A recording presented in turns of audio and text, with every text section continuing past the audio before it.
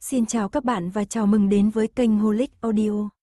Trong video này, chúng ta sẽ tiếp tục theo dõi bộ truyện Quỷ đoàn mệnh nhà họ Tả, sống lâu trăm tuổi của tác giả Di Nhiên. Chương 81, vết thương. Giống như bị đánh mạnh một quyền vào ngực, Ninh Thị đau đến mức hít sâu mấy hơi liền. Nàng đang nói gì vậy? Ta không hiểu. Không hiểu một từ nào cả. Sao ta có thể là sói hoang được, ta là thiên kim đại tiểu thư của Ninh gia mà. Và, ta không bị thương, không có một vết thương nào cả. Ninh thị theo bản năng lắc đầu, lắc đến mức châm cài phát ra tiếng len keng. Yến Tam Hợp dùng tay kia đè đầu nàng lại. Đừng sợ, chỉ cần ngươi nói ra, ta đều sẽ tin. Lông mi Ninh thị run lên. Ngươi, ngươi, thật sự, sẽ tin sao? Yến Tam Hợp dùng sức gật đầu một cái. Ta sẽ tin mỗi một chữ nói ra. Từng chữ, nàng đều sẽ tin. Lão phu nhân đã như vậy rồi, vì sao ta phải tin ngươi? Bà là mẫu thân thân ta, là bà sinh ta ra, bà có thể gạt ta sao? Nhà lão ta mà, làm việc gì cũng phải có mức độ thôi, ngươi có dám sở lương tâm nói tiếp hay không? Tam phu nhân, làm người thì thành thật một chút vẫn hơn, quý gia chúng ta là nhà thư hương, truyền ra ngoài muốn để cho người khác cười dụng răng hả? Đệ muội, trong lời muội có câu nào là thật không hả? Mẫu thân, mẫu thân đừng nói dối nữa được không? Dù sao cũng chỉ là con gái nhà thương nhân, chật chật chật, chẳng có chút gia giáo nào, quý gia ta đúng là xui tám đời mới xuất hiện một kẻ phá nhà thế này. Khuôn mặt của Ninh Thị tràn đầy nước mắt. Nàng lười lấy tay lau, cuối cùng cũng mở miệng nói. Bà ấy là người hai mặt ba đao, nói và làm chưa bao giờ giống nhau. Lời này, khiến cho hai nam nhân trong phòng khách đồng thời biến sắc. Hô hấp của bùi tiếu rồn rập, con bà nó người cũng thật dám nói. Yến Tam Hợp quay đầu nhìn thoáng qua Lý Bất Ngôn. Lý Bất Ngôn vội bưng một cái ghế tròn nhỏ qua, Yến Tam Hợp lại ngồi xuống, đối mặt với Ninh Thị. Vậy sao, bà đã nói gì với ngươi? Bà nói, chỉ cần ta nghe lời bà thì bà sẽ thương ta nhất. Ninh Thị nắm chặt cánh tay Yến Tam Hợp, nắm thật chặt, giống như muốn xin chút dùng khí để gỡ vết thương ra từ trên người nàng. Vết thương sâu kia chính là lão phu nhân, còn có nam nhân bạc tình bạc nghĩa kia. Nàng ở nhà ngoại sống đến 16 tuổi, chưa từng nghĩ tới có một ngày sẽ được gả đến kinh thành. Năm ấy vườn táo được mùa bội thu, trong kinh có một đôi mẫu tử đến vườn thu táo. Hai mẫu tử kia nhìn rất đẹp, mẫu thân tuy rằng màu da hơi đen nhưng ăn nói nhỏ nhẹ, vừa nhìn là biết tình tình ôn hòa. Con trai thì ôn văn yếu ớt, chỉ tùy ý đứng ở đó trên người đã hiện ra sự quý phái nói không nên lời. Ninh gia làm thương nhân, giỏi nhất là bản lĩnh nhìn người, nàng từ nhỏ mưa dầm thấm đất, liếc mắt một cái đã nhìn ra hai mẫu tử này không giống ninh gia, e là khách quý. Quả nhiên, hai nương con kia mua chọn một thuyền táo, phụ thân lại chỉ lấy giá thành ba ngàn lượng, nàng âm thầm nghe ngóng, mới biết được đây là người nhà của quan viên tứ phẩm trong kinh, họ quý. Hôm đó, nương con hai người ở lại ninh phủ, lúc ăn cơm tối nam quyến một bàn, nữ quyến một bàn, đôi mắt quý phu nhân thỉnh thoảng nhìn về phía nàng. Ngày hôm sau, chờ hai mẫu tử rời đi, mẫu thân mới nói cho nàng biết, quý phu nhân kia muốn kết thông gia với ninh gia, hỏi nàng có bằng lòng hay không. Còn nói, quý phu nhân thực ra đã âm thầm nhờ người hỏi thăm nàng lâu rồi, lần này đến ninh gia mua táo là giả, xem mặt là thật. Nàng không ngờ mẫu tử kia lại để ý nàng như vậy, vừa mừng vừa sợ. Mẫu thân từ nhỏ đã nói với nàng, nữ nhân đời này gả có tốt hay không, thì phải nhà chồng có nhìn chúng mình hay không. Nếu nhà chồng nhìn chúng, thì cho dù nam nhân không thành công thì cuộc sống cũng dễ dàng. Nếu nhà chồng xem thường, cho dù nam nhân có bản lĩnh thì cuộc sống cũng không yên ổn. Nàng suy nghĩ cả đêm, cuối cùng xấu hổ đồng ý. Quý gia ta môi lục lễ mọi thứ chu toàn, đến cả đại ca hay xét nét nhất cũng khen một tiếng tốt. Bởi vì là gả đi xa, lại giả cho nhà có gia thế cao, phụ mẫu huynh đệ sợ nàng bị người khác xem thường bèn chuẩn bị rất nhiều của hồi môn, ước chừng phải 120 nâng, mỗi cái dương đều nặng trịch. 10 dặm hồng trang, kéo dài mấy dặm. Trong tiếng pháo, tiếng chiêng trống, kiệu lớn tám người khiêng rừng ở cửa chính quý phủ. Một đầu tơ lụa đỏ là hắn, một đầu là nàng. Trên bái thiên địa, hạ bái cao đường, đây là thời khắc huy hoàng nhất, trói mắt nhất trong cuộc đời nàng. Khoảnh khắc nam nhân họ quý kia vạch tấm vải đỏ ra, nàng nghĩ mình hạnh phúc biết bao, viên mãn biết bao. Kết tóc làm phu thê, ân ái không nghi ngờ. Nếu còn sống ắt sẽ gặp lại nhau, nếu chết sẽ còn nhớ nhau mãi mãi. Trong mắt Ninh Thị dương dương, trong mắt tỏa ánh sáng của thiếu nữ, khiến cho cả người nàng đều sáng bừng lên. Ninh Thị đắm chìm thật lâu trong hồi ức của mình, không nói thêm nửa chữ nữa. Yến Tam Hợp không thể không lên tiếng cắt ngang. Sau khi ngươi gả đến quý gia, đã xảy ra chuyện gì? Ninh Thị run rẩy, ánh sáng chợt biến mất, nàng ngẩng đầu, yên lặng nhìn Quý Lăng Xuyên. Đại lão gia còn nhớ trang gấm lụa không? Trang gấm lụa ở đâu? Quý Lăng Xuyên bị hỏi thì sừng sốt. Đại lão gia đúng là hay quên, hai mươi mấy năm trước lão phu nhân từng bị xe ngựa mất khống chế đụng phải, ngất đi ngay tại chỗ ở trang gấm lụa mà. Nghe nàng nhắc, Quý Lăng Xuyên lập tức nhớ ra. Ngươi còn có mặt mũi nhắc tới chuyện này, chính là ngươi làm hại mẫu thân ta hôn mê suốt hai ngày hai đêm. Xe ngựa xông tới, ta và đại phu nhân đang đỡ lão phu nhân qua đường, ta vì tránh xe ngựa mà lỡ tay đẩy lão phu nhân một cái, lão phu nhân ngã xuống đập đầu xuống đất, cánh tay bị bánh xe làm chảy ra. Nước mắt vẫn còn trên mặt Ninh Thị. Đại lão gia, ta nói không sai chứ. Quý Lăng Xuyên hừ một tiếng. Làm con cháu không che chở trưởng bối còn chưa tính, ngươi lại còn vì bản thân mà đẩy trưởng bối đi, hiếu đạo ở đâu rồi hả? Đại lão gia nói không sai, hiếu đạo ở đâu, lương tâm ở đâu? Ta vì việc này mà bị tam đệ ngươi tát một cái, còn phạt quỳ suốt đêm. Sao, tam đệ đánh ngươi, ngươi còn thấy oan sao? Oan, chứ? Ninh Thị nhìn Quý Lăng Xuyên cười, nụ cười này cổ quái nói không nên lời. Yến Tam Hợp ở gần nhất, nhìn cũng rõ ràng nhất. Tam phu nhân, chân tướng thực sự là gì? Ninh Thị nhìn nàng, ngăn từng chữ. Chân tướng là đại phu nhân người đẩy nàng, căn bản không phải ta. Ăn nói hàm hồ. Quý Lăng Xuyên nổi giận. Lúc lão phu nhân tỉnh lại chính miệng nói, là ngươi đẩy bà ấy. Cho nên ta mới buồn bực, rõ ràng ta bởi vì tham tấm vải gấm kia, đi ra chậm một bước. Lúc đuổi theo, tay còn chưa chạm đến cánh tay lão phu nhân. Rõ ràng lúc ấy người đỡ bà là đại phu nhân, vì sao, vì sao lão phu nhân còn mở to mắt nói dối. Ninh thị cười đến thê lương. Cho nên bị quỳ một đêm ta không phục, len lén chạy đến phòng lão phu nhân chất vấn, các ngươi đoán xem bà ấy nói với ta thế nào. Yến Tam Hợp đột nhiên nói. Bà nói, đại phu nhân là người bên trương gia chọn, gia hòa vạn sự hưng, ta làm mẫu thân chồng vô dụng, chỉ đành để con phải chịu ấm ức. Vẻ mặt Ninh thì tựa như ban ngày gặp quỷ. Ngươi, làm sao ngươi biết? chương 82, đao. Yến Tam Hợp không trả lời câu hỏi của nàng, mà dùng khẩu khí của lão phu nhân nói tiếp. Con là con dâu ta nhìn chúng, trong lòng ta thương con nhất, nếu con ngoan ngoãn nghe lời, đừng làm ầm lên thì về sau ta sẽ đối tốt với con hơn.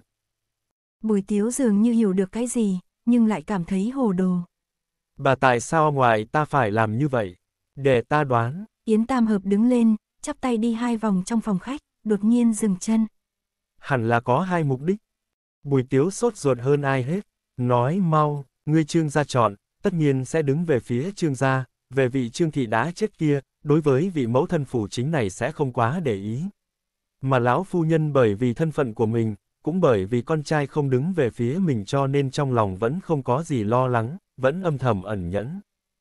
Yến Tam hợp truyền đề tài. Nhưng trên đời này không có đạo lý mẫu thân chồng nhẫn nhịn con dâu, bà không cam lòng, huống chi bản thân bà cũng là từng là con dâu thành mẫu thân chồng, nên bà càng không muốn. Bùi tiếu. Cho nên bà vu oan cho mợ ba ta. Yến Tam hợp. Không phải vu oan, mà nàng muốn tìm cơ hội để lập uy và thi ân. Bùi tiếu. Lập uy thi ân là có ý gì? Lão phu nhân hôn mê, bốn đứa con trai chắc chắn sẽ sốt ruột, hai đứa nhỏ là bản tính huyết mạch tương liên.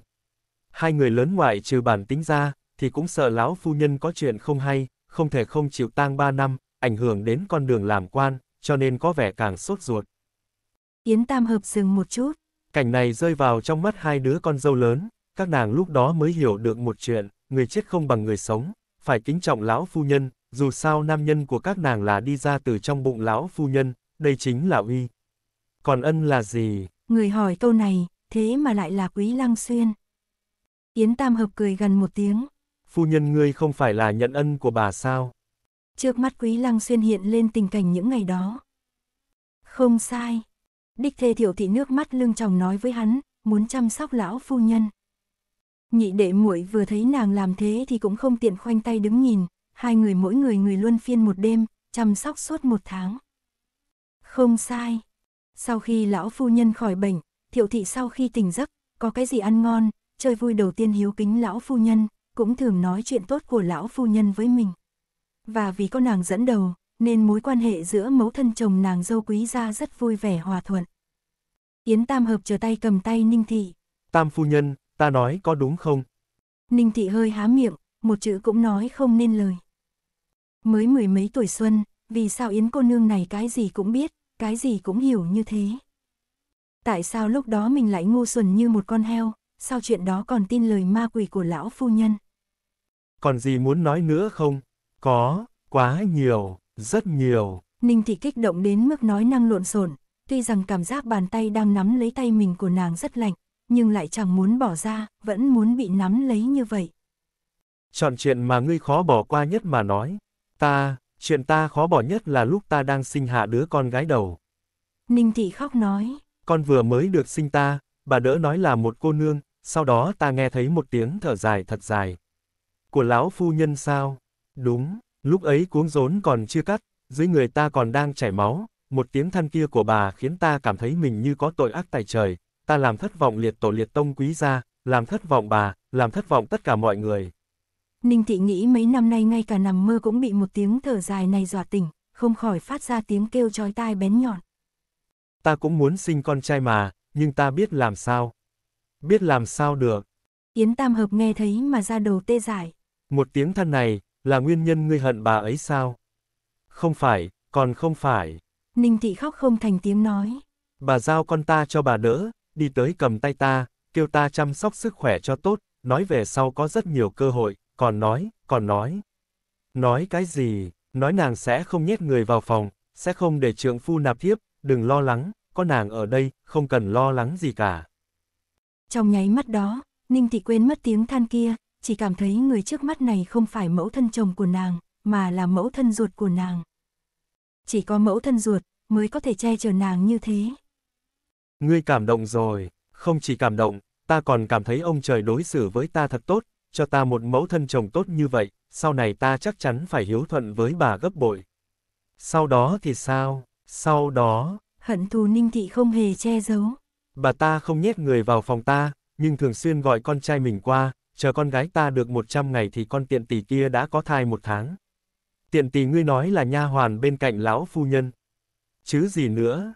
Hàm răng ninh thị nghiên răng rắc. Các ngươi biết tiện tỷ kia làm chuyện tốt kia với tên nam nhân đó ở đâu không? Ngay tại trong phòng bà ta, bọn họ ở bên trong làm chuyện nam nữ, bà ta ra lệnh nha hoàn chuyển một cái ghế thái sư, ngồi ở trong viện, giữ cửa cho họ. Lời này vừa nói ra, ngay cả Yến Tam Hợp xưa nay bình tĩnh cũng biến sắc. Bà ta tưởng ta như không biết, nàng vẫn coi ta là kẻ ngốc. Ninh thị run rẩy cả ngươi, phát ra một tiếng giống chói tai. Nhưng ta đâu có ngốc, ta có mắt, có tài, ta có đầu óc mà. Trong phòng khách, lại là một sự yên lặng khó xử. Yến Tam Hợp cảm giác bàn tay nắm trong tay, đang run rẩy không ngừng. Tại sao? Nữ ngư dân đơn thuần thiện lương, cuối cùng ngồi vào địa vị cao không người nào trói buộc được, sao lại biến thành một bộ mặt khác như thế? Sau đó, người kia nâng di nương lên. Nàng hỏi. Ninh thị. Khối thịt trong bụng kia đã mọc ra rồi, sao có thể không nâng lên được? Yến Tam Hợp. Là con trai sao? Ninh thị. Đúng. Yến Tam Hợp. Lão phu nhân giao đứa nhỏ đó cho ngươi. Ninh thị nghiến răng răng rắc. Đúng, ta không đồng ý. Ta nói với bà, lão nương cho dù cả đời không sinh được con trai, cho dù bị quý gia hưu thì cũng sẽ không nuôi con của tiện tỷ kia. Yến Tam Hợp thở dài một hơi. Câu chỉ tang mắng hòe này xem như là lời khai chiến với quý lão phu nhân, không để lại cho mình một chút đường lui.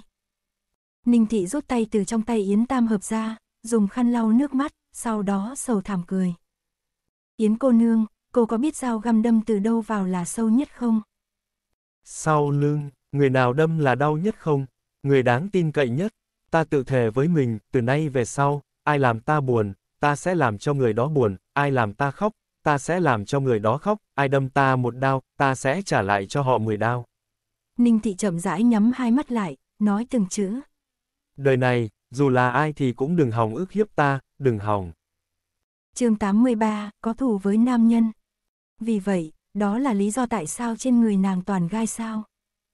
Bởi vì, người ép cô mọc gai là quý lão phu nhân giỏi diễn kịch nhất. Cho nên, đó là lý do tại sao 11 người thì 11 người đều nói người đào mộ bà lão là nàng. Bởi vì, dưới lớp mặt nạ ngang ngược kiêu ngạo, là sự phản kháng của nàng, vì không muốn bị ai ức hiếp, là sự yếu ớt và cô độc khó có thể nói thành lời. Yến Tam Hợp nhìn đôi lông mi của Ninh Thị không ngừng run rẩy, bình tĩnh nói. Tam phu nhân, ngươi nhìn lầm lão phu nhân, thực ra lão phu nhân cũng nhìn lầm ngươi. Ninh Thị mở to mắt. Ý ngươi là gì? Đúng vậy, lời này là có ý gì? Bùi tiếu sốt ruột đến độ muốn hỏi ra tiếng, lại bị không khí trong phòng khách ép tới không dám mở miệng, đành phải cắn chặt hàm răng. Yến Tam Hợp im lặng một lát rồi nói. Lão phu nhân bỏ gần cầu xa, cưới ngươi về nhà, thực ra có nỗi khổ của bà. Ninh Thị biến sắc, lạnh lùng nói. Nỗi khổ gì, ngươi đừng căng thẳng, ta không phải muốn nói thay bà, ta chỉ đang phân tích toàn bộ chân tướng sự việc với ngươi thôi. Yến Tam Hợp, Lão phu nhân cả đời này, thực ra đều đang phân cao thấp với một người, ngươi có thể đoán ra nàng là ai không? Ninh Thị mờ mịt lắc đầu. Là Trương Thị, vị mẫu thân chồng mà lúc ngươi chưa vào cửa đã qua đời. Là bà ấy sao? Yến Tam Hợp gật gật đầu. Lão phu nhân không có gì bằng bà ấy, chỉ có chuyện sinh con trai là lão phu nhân thắng chắc. Nhưng ngoài chuyện hai đứa con trai, thì chuyện gì bà cũng không làm chủ được. Ninh Thị theo bản năng liếc đại lão ra một cái. Yến Tam Hợp thấy nàng như thế, lại nói. Cho nên ở đứa con dâu thứ ba, nàng phải hao hết tâm tư. Ninh Thị cười gằn. Của hồi môn của ta có 120 cân, hẳn là dùng để so sánh với hai người trước nhỉ. Ta gả đi xa, nhà ngoại không ở bên cạnh, việc gì cũng phải nghe lời, nên dễ lừa gạt. Ninh Thị này không chỉ không ngốc, còn tương đối thông minh, chỉ nói một chút đã hiểu. Vốn mối hôn sự này chỉ cần ngươi sinh con trai thì coi như viên mãn, nhưng mọi chuyện lại không được như ý muốn, ngươi sinh con gái. Mà trên đời này, không ai hiểu rõ tầm quan trọng của việc sinh con trai hơn bà. Yến Tam Hợp. Cho nên, bà mới có thể vừa chấn an ngươi, vừa vội vã phối giống cho con trai bà. Yến Tam Hợp, lời này khó nghe quá rồi đấy. Bùi Tiếu lại nhảy ra. Lý bất ngôn. Hừ. Một tiếng. Bên trong làm, bên ngoài nghe, không phải phối giống thì là cái gì. Bùi Tiếu. Được rồi. Người nói cái gì thì là cái đó. Yến Tam Hợp. Lão phu nhân ngàn vạn lần không nghĩ tới chính là, cô nương xuất thân thương hộ, trên người có khí thế bất chấp tất cả, tuyệt đối sẽ không giống như cô nương nhà thi thư, mọi chuyện đều ẩn nhẫn. Ninh Thị cười gằn. Mẫu thân ta dạy ta, muốn sống tốt thì phải biết tranh chua một chút, đấu với người ghê gớm thì phải ghê gớm hơn. Cho nên, ngươi sống thành gai, còn bà lại chỉ có thể không ngừng ẩn nhẫn. Ngươi vốn nên là niềm kiêu ngạo của bà, cuối cùng lại trở thành chuyện cười lớn nhất của bà. Yến Tam Hợp trầm mặc giây lát. Không thể không nói, ông trời rất công bằng, một người tính toán cái gì, đạt được cái gì, thì chắc chắn cũng sẽ mất đi cái đó. Lời này khiến trong lòng Ninh Thị có chút cảm giác kỳ quái, còn chưa kịp hiểu đã nghe Yến Tam Hợp bình thản nói. Tam phu nhân, cuộc đời ngắn ngủi, đừng sống như một con nhím, cô độc đến mức chỉ có thể đặt một cỗ quan tài vào ngực. Giống như có ngàn vạn cây kim nhỏ lập tức đâm vào trong tủy, Ninh Thị đau đến ong đầu, chẳng nghe thấy âm thanh gì nữa. Ta đã tính toán gì? Ta được gì? Ta lại mất gì nữa? Cảm giác kỳ quái ở tận đáy lòng càng phóng đại, khuếch tán ra khắp tế bào toàn thân. Trong sự mờ mịt đó, có một giọng nói vang lên bên tai. Ngoại trừ cố quan tài trong lòng ra thì ngươi chẳng có gì cả. Tam phu nhân, hả, vụ án đã thẩm tra rõ ràng, quan tài của lão phu nhân không phải do ngươi đào, ngươi có thể đi rồi. Hả, sao còn, hả nữa, chấm hỏi. Bùi tiếu cao giọng nói nói. Mợ ba, Yến cô nương nói ngươi có thể đi rồi. Ninh thị giật mình nửa ngày, mới trả lời một câu. À. Đúng vậy, nhưng nàng vẫn ngồi bất động. Bùi tiếu không nhìn nàng, mà nhìn chằm chằm Yến Tam Hợp. Hắn có một dự cảm, Ninh Thị đi ra khỏi phòng khách này, tuyệt đối sẽ không sống như một con nhím nữa, vì Yến Tam Hợp đã nhổ hết một nửa số gai đó rồi. Yến Tam Hợp ơi Yến Tam Hợp, ngươi rốt cuộc là sao thế? Đối với cậu cả ta thì không ưa rõ ràng. Đối với mợ ba ta thì lại lên tiếng an ủi. Có thủ với nam nhân sao? Còn cả bà ngoại của hắn nữa. Bùi tiếu dùng sức lau mặt một cái, ta phải nói thế nào mới phải đây? Hồi lâu, Ninh Thị cuối cùng cũng hoàn hồn, đứng dậy nói thật với Yến Tam Hợp. Không giấu cô nương, thật ra ta có ý định đào mộ đấy. Yến Tam Hợp. Vậy sao? Ninh Thị. Lúc còn sống, ta không lột được lớp da bên ngoài của bà, nên nghĩ nếu chết rồi thì phải để cho người đời nhìn thấy bộ mặt thật của bà chứ. Vì sao không động thủ? Ta có một chuyện cảm kích bà. Chuyện gì? Năm ấy trương gia có người đến làm mối, muốn con gái lớn của ta đến làm thiếp ở phủ thái tử. Ta vừa nghe là phủ thái tử thì cảm thấy phú quý ngập trời, trong lòng cũng lập tức buông lòng. Ninh thị tự giễu cười. Là lão phu nhân chết cũng không đồng ý, nên chuyện này mới dừng lại. Bây giờ con gái lớn của ta sống rất tốt, mẫu thân chồng thương, nam nhân yêu mến, ta nghĩ chỉ nể tình con gái lớn của ta thôi cũng không nên làm việc này rồi. Ánh mắt Yến Tam Hợp bỗng sáng lên. Ý của Tam phu nhân là, lão phu nhân vì con gái ngươi mà không tiếc đắc tội với trương gia sao? Có đắc tội hay không, phải hỏi đại lão gia. Vẻ mặt Ninh thị trào phúng. Về sau ta mới biết được, trương gia căn bản không có lòng tốt gì, con gái nhà mình lớn tuổi, thái tử không thích nên muốn tìm một người trẻ tuổi xinh đẹp, dễ lừa gạt, giúp nhà bọn họ tranh sủng. Yến Tam Hợp biến sắc. Bà ấy làm thế nào để từ chối? Ninh thị bị vẻ mặt Yến Tam Hợp dọa cho nhảy dựng, vội nói. Đầu tiên bà chỉ vào mũi ta và nam nhân mắng một trận, mắng như máu chó xối đầu, tiếp theo. Ánh mắt Ninh thị lại nhìn Quý Lăng Xuyên. Quý Lăng Xuyên thở dài. Lại mắng ta và đệ đệ ta một trận, còn nói ai muốn đưa người đi thì phải dẫm qua thi thể bà trước. Ninh thị vỗ tay. Đúng rồi, lão phu nhân còn tự nhốt mình trong phòng, không ăn không uống hai ngày. Lấy cái chết để chống lại. Yến Tam hợp biển sắc, đang muốn mở miệng nói chuyện thì đột nhiên cửa bị đá văng ra. Tất cả mọi người trong phòng khách đều giật mình hoảng sợ. Ngoài cửa là tạ chi phi. Bùi tiếu vừa kịp phản ứng, cả giận nói. Tạ ngũ thập, sao đang yên đang lành người đạp cửa làm gì, điên à?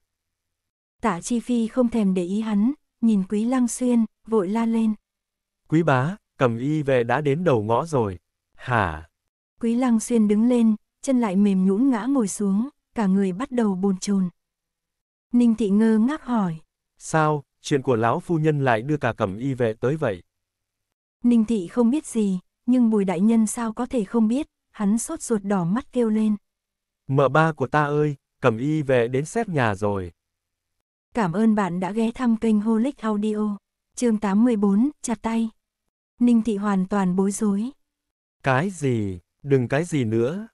Bùi tiếu bước lên, tay chống sau lưng Ninh thị, dùng sức đẩy. Mau, mau trở về giấu ngân phiếu vào trong người hết đi, giấu được bao nhiêu thì giấu bấy nhiêu, trên đầu cắm nhiều châm châu, trên tay đeo nhiều nhẫn vào, lỡ như vào trong lao thì những thứ này đều có thể phát huy công dụng. Ninh thị bị hắn đẩy thì lảo đảo vài bước, lúc vượt qua ngưỡng cửa, còn suýt nữa thì vấp ngã. Tạ Chi Phi đưa tay đỡ. Tam phu nhân, Minh Đình nói rất đúng, mau đi đi, không có thời gian nữa đâu.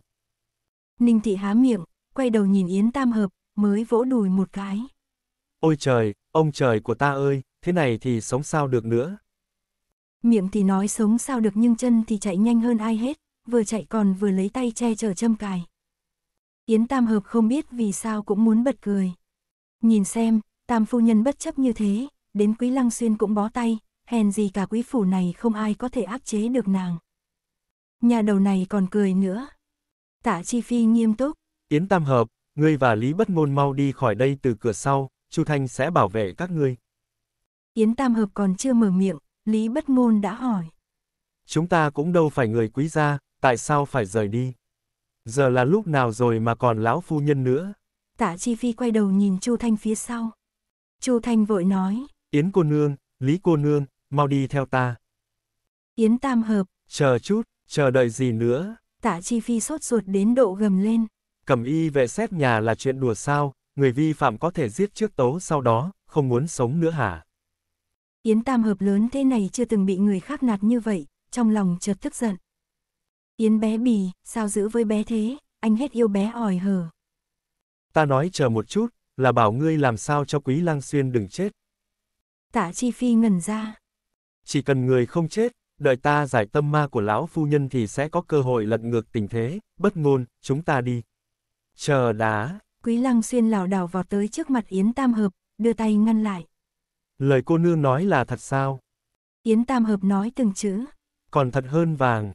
Quý Lăng Xuyên vốn định đâm đầu chết đột nhiên như được trích máu gà, hai chân hắn gập lại, quỳ thẳng xuống trước mặt Yến Tam Hợp.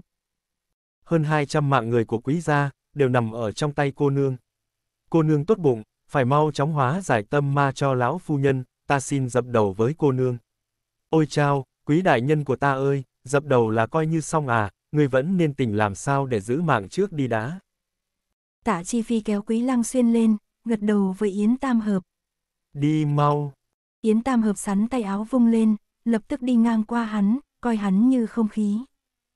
Tạ Chi Phi nhìn bóng lưng nổi giận đùng đùng kia mà cười khổ không thôi. Sao lại nóng này thế, cũng không nhìn xem ta con bà nó là vì ai. Tính cách của Yến Tam Hợp trước nay vốn đều thu lại, không chọc giận tuyệt đối không phát tác. Nàng trước giờ luôn biết tốt xấu, lúc đó kêu. Chờ đã. Tuyệt đối có lời quan trọng muốn nói. Tên tả phong lưu này, hắn thì biết cái gì. Tam Hợp, ngươi vừa mới sốt ruột hỏi Tam Phu Nhân, là phát hiện cái gì sao? Yến Tam Hợp bị Lý bất ngôn hỏi như vậy thì chút nóng này vừa rồi lập tức tan biến không thấy bóng dáng. Nàng vừa bước nhanh, vừa nói. Lão phu nhân đến hôn sự của con ruột mình cũng để trương gia định đoạt, sao lại vì một đứa cháu gái mà đắc tội trương gia chứ? Lý bất ngôn gật gật đầu. Xem ra trong này có uẩn khúc gì đó. Yến Tam Hợp. Chắc chắn là có. Lý bất ngôn. Tâm mà của lão phu nhân là chuyện hợp táng sao? Yến Tam Hợp. Không phải, lão phu nhân khi còn sống không biết việc này. Lý bất ngôn. Lỡ như sau khi nàng chết thì phát hiện. Yến Tam Hợp. Niệm khi còn sống, chết mới thành ma. Lý bất ngôn. Vậy thì là tam phu nhân sao? Yến Tam Hợp. Ký xảo làm ầm ĩ của tam phu nhân ở trong mắt lão phu nhân căn bản đáng nhìn, cũng không thể là nàng. Lý bất ngôn. Như vậy có khả năng nhất là Trương Thị, dù sao hai người này ngươi tính kế nhau hơn nửa đời người mà. Yến Tam Hợp suy nghĩ một lát. Cũng có thể là Trương Thị, cần điều tra sâu hơn. Lý bất ngôn. Mấy câu nói vừa rồi của ngươi, có phải là muốn khuyên giải tam phu nhân không? Yến Tam Hợp. Cũng là một người đáng thương. Chu Thành đi ở phía trước nghe thấy thì mí mắt giật giật, khóe miệng co rút. Bị Tam gia đoán đúng rồi. Hai người này căn bản không biết trốn quan trường ở kinh thành nông sâu thế nào, cầm y vệ xét nhà, đó là đại sự toàn bộ thành tứ cửu đều lo sợ. Các nàng, các nàng lại còn có tâm trạng thảo luận chuyện quý gia, thảo luận chuyện tam phu nhân. Hai vị cô nương, chúng ta đi mau lên nào. Lý bất ngôn đột nhiên đi nhanh hai bước, sóng vai với Chu Thanh. Ta có một việc không rõ, quý gia và thái tử có quan hệ, vì sao còn bị tịch thu? Chu Thanh. Lý bất ngôn. Thái tử vì sao không giúp một tay? Chu Thanh. Lý bất ngôn. Chẳng lẽ là thái tử vô dụng? Chu Thanh sợ tới mức tái mặt.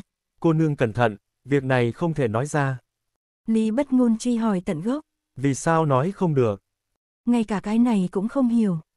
Chu Thanh nhấn mạnh. Dưới chân thiên tử không thể so với nơi khác, bàn luận hoàng thượng, bàn luận thái tử đó là chuyện phải rất đầu.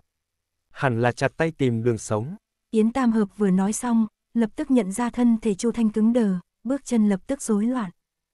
Ánh mắt Lý bất ngôn sắc bén, thừa dịp Chu Thanh điều chỉnh bước chân thì cố ý chậm lại, sóng vai với Yến Tam Hợp, nói bằng khẩu hình. Đoán đúng rồi. Dứt lời, nàng bật ngón tay cái với Yến Tam Hợp. Yến Tam Hợp trong lòng dâng lên một cảm giác rất không thoải mái, thầm nói, ta thuận miệng nói bừa, sao lại đoán đúng chứ? Nàng nào biết đâu, giờ phút này trong lòng Chu Thanh còn không thoải mái hơn cả nàng. Quá thông minh, người như vậy, tam gia thật sự có thể vạch trần gốc gác của nàng sao? Ta thấy có vẻ hơi khó đây. Cẩm y vệ còn chưa có chạy tới, quý gia hết thảy đều như thường. Lúc xuyên qua hậu hoa viên, có mấy bà mụ trông vườn còn tụ lại với nhau phơi nắng, căn bản không biết đại họa ngập trời sắp đến. Trong nháy mắt đã tới cửa sau. Chu Thành bước ra trước, thấy xa xa đã có binh mã chạy tới như bay, vội nói. Yến cô nương, nhanh, bên trái. Ba người rời đi từ cửa sau, vội vã dán vào góc tường để đi. Tiếng vó ngựa càng lúc càng gần, Chu Thanh thấp giọng nói. Hai vị cô nương thấp đầu xuống một chút. Yến Tam Hợp và Lý Bất Ngôn tuy rằng không rõ vì sao, nhưng cũng làm theo. Chu Thanh ở phía trước đi quá nhanh, Yến Tam Hợp đuổi không kịp, tự nhiên hô hấp cũng không đều. Mấy con ngựa đi ngang qua họ, mang theo bụi bặm, bụi bặm kia tuôn vào trong miệng Yến Tam Hợp, nàng nặng nề ho khan vài tiếng. Người cưỡi ngựa nghe thấy tiếng ho khan, tò mò quay đầu nhìn. Mà đúng lúc này, Chu Thanh xoay người muốn xem Yến Tam Hợp có chuyện gì không. Một người quay đầu, một kẻ xoay người. Bốn mắt nhìn nhau. Ánh mắt người trên ngựa sáng ngời, sau đó là sự hung dữ tràn ra, hắn lập tức siết chặt dây cương, lớn tiếng hô. Người đâu, ở đây có người của quý gia. Trái tim Chu Thanh, chợt trầm xuống. Xong đời rồi. chương 85, rước họa. Người quý gia, ai là người quý gia? Lý bất ngôn vừa nói thầm một câu, Chu Thanh đã chắn trước mặt nàng. Lý bất ngôn. Sao lại? Chu Thanh thấp giọng nói. Đừng nói chuyện, lo cho tiểu thư nhà ngươi đi. Khẩu khí của hắn thật sự quá nặng nề, nặng nề đến mức khiến cho lòng người thấy khủng hoảng. Tay Lý bất ngôn sờ lên lưng, chân nhanh chóng đứng trước Yến Tam Hợp. Yến Tam Hợp lúc này mới ngừng ho, ngẩng đầu lên thì vừa lúc nhìn thấy người nọ xuống ngựa, lập tức hiểu được vì sao giọng nói vừa rồi hắn có hơi quen tai. Oan ra ngõ hẹp, người tới là tả thị lang hình bộ từ lai. Lần này cha xét quý gia, cẩm y vệ làm chủ, hình bộ làm phụ. Cẩm y vệ đi vào từ cửa chính, hình bộ đi vào từ cửa sau. Từ lai quay đầu, thật ra cũng không nhìn thấy Yến Tam Hợp, mà chỉ thấy Chu Thanh. Hắn từng gặp Chu Thanh vài lần rồi, là thuộc hạ hữu dụng nhất bên cạnh tả Tam gia. Từ trên xuống dưới kinh thành đều biết, tả Tam gia và là Bùi Tiếu nhà Bùi Thái Ý là huynh đệ tốt từ nhỏ. Mà nhà ngoại của Bùi Tiếu chính là Quý gia. Lúc này Chu Thanh mang theo hai người, lén lút đi cửa sau Quý phủ ra, chẳng lẽ là trước đó nhận được tin tức, muốn giấu ai sao? Thà giết lầm còn hơn bỏ sót. Từ lai lúc này mặc kệ hết, cứ hô lên đã. Hắn vừa hô, mấy thị vệ hình bộ đồng loạt siết chặt dây cương, quay đầu ngựa, vây quanh ba người trong ba tầng, ngoài ba tầng. Chu Thanh ôm quyền. Từ đại nhân, hai vị nữ quyến này là người của tả phủ chúng ta, không liên quan đến quý gia, kính xin từ đại nhân cho qua. Lời này vừa nói ra, từ lai lập tức biết tin tức xét nhà bị dò gì, càng chắc chắc hai người phía sau Chu Thanh có gì đó mở ám. Nữ quyến tả phủ sao lại đi từ quý gia ra? Từ lai cười khinh miệt. Tránh ra, bổn quan phải kiểm tra danh tính của họ mới cho đi được. Chu Thanh đi theo tả tam gia nhiều năm, hiểu rất rõ tình huống trước mắt, chỉ có thể làm lớn chuyện này lên thôi. Vì thế, hắn né sang một bên nhường một bước. Mời từ đại nhân kiểm tra. Từ lai chưa từng gặp Lý Bất Ngôn, hỏi. Tên là gì? Lý Bất Ngôn, trong danh sách có tên của nàng không? Bẩm đại nhân, không có người này. Ừ. Từ lai hất cằm. Còn một người nữa, đứng ra đây, tên là gì? Lý Bất Ngôn thấy mình không sao, bèn nhường một bước sang một bên. Người phía sau chậm rãi ngẩng đầu. Yến Tam Hợp. Nàng ngẩng đầu lên, lòng từ lai tràn đầy khiếp sợ. Không ngờ lại là nàng. Hắn âm u nhìn chằm chằm Yến Tam Hợp, thầm nghĩ, ông đây đang lo không có cơ hội trả thù, các ngươi tự dâng tới cửa thì đừng có trách nhé. Hừ hừ, vậy thì đừng trách ta lấy chuyện công báo thù riêng. Yến Tam Hợp thấy Từ Lai nhìn cô chằm chằm, thì biết không hay, chủ động nói. Ta không phải người quý gia, trên danh sách không có tên ta. Chuyện này ngươi quản được sao? Từ Lai lạnh lùng. Ngươi từ quý gia đi ra, là người của quý gia, người đâu, mang đi. Biến cố xảy ra trong nháy mắt. Người bên ngoài còn chưa kịp phản ứng, thì thanh nguyễn kiếm trên lưng Lý bất ngôn đã nắm trong tay, khẽ chỉ về phía Từ Lai. Ta xem ai dám. Bà cô ơi, sao cô nhanh thế? Trái tim Chu Thanh muốn nhảy ra khỏi cổ họng, nhưng trên mặt lại cực kỳ bình tĩnh. Từ đại nhân nhìn kỹ lại đi, vết thương trên trán Yến cô nương vẫn còn, lão ra nhà ta tự mình đến hình bộ đưa nàng ấy ra, chẳng lẽ đại nhân đã quên rồi sao? Thật không hổ là người bên cạnh tạ lão tam, từng câu từng chữ đều giấu đao kiếm. Đầu tiên là nhắc nhở hắn đừng mở to mắt nói dối. Lại chuyển đến tạ đạo chi, cảnh cáo hắn đừng không biết điều. Không biết điều ư, ta thấy tạ ra các ngươi mới không biết điều. Đánh con ta bị thương, đập bảng hiệu hình bộ ta, thù này vừa khéo tính luôn một thể. Ta mặc kệ ả là Yến cô nương, hay ai khác, tội nặng thứ nhất là từ quý ra đi ra, tội nặng thứ hai là mang kiếm giữa ban ngày ban mặt, tội nặng thứ ba là uy hiếp quan viên đương triều, tội thứ là không chịu bị bắt. Từ lai trợn tròn mắt, lạnh lùng nói. Người đâu, còn không mau bắt lại cho ta. Lạch cạch. Tất cả thị vệ đồng loạt rút kiếm ra. Lý bất ngôn không chút hoang mang, dùng nguyễn kiếm vẽ ra một đường cong trên không trung. Bà cô đã lâu không đánh nhau, đang ngứa ngáy tay chân lắm đây nè, xem ta giết từng người các ngươi thế nào nhé. Lý cô nương, Lý bất ngôn. Hai giọng nói đồng thời quát lên. Lý bất ngôn chỉ nhìn Yến Tam Hợp, sao, không cho ta đánh hả? Yến Tam Hợp khẽ lắc đầu, lạnh lùng nói. Lý Bất Ngôn là tỷ nữ của ta, vừa tới kinh thành chưa được mấy ngày, không hiểu quy củ trong kinh lắm, không cần các ngươi bắt, chúng ta đi theo các ngươi. Chu Thanh vừa nghe Yến Tam Hợp nói như vậy, thì trái tim đang treo ở cổ họng lập tức rơi về chỗ cũ. Từ đại nhân, nếu không chạy tới quý phủ bây giờ, thì người trong danh sách sẽ chạy trốn từ cửa sau đấy ạ. Từ lai không phải muốn làm gì họ cả, mà chỉ muốn mượn lần xét nhà này để trả mối thù nhục nhã trước kia, khiến người tả ra khó xử mà thôi. Mang đi. Đám thị vệ hình bộ vừa nghe lời này, thù đao xoay người lên ngựa chạy như bay, để lại sáu thị vệ, áp giải ba người đi về phía cửa sau quý gia. Yến Tam hợp chỉ vào từ lai phía trước. Người này đang báo thù riêng sao? Chu Thành không có cách nào trả lời chính diện, đành phải gật gật đầu. Yến Tam hợp. Là trả thù ta hay tả ra? Chu Thanh. Chu Thanh im lặng nói một chữ. Tả. Biểu cảm trên mặt Yến Tam hợp lập tức buông lỏng. Lý bất ngôn bên cạnh cực kỳ bình tĩnh chen vào một câu.